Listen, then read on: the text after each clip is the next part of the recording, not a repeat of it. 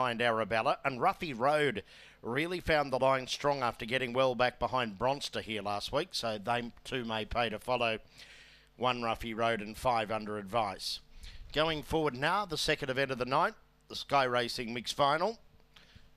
Tote favourite, five under advice, 310. Fixed price, favourite Bronster at 350. Green light. Set for the second at Ippy.